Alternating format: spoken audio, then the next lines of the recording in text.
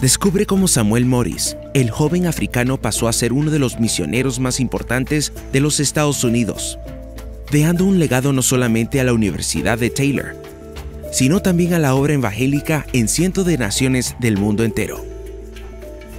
Estreno, sábado 22 de julio, solo por Betel Plus.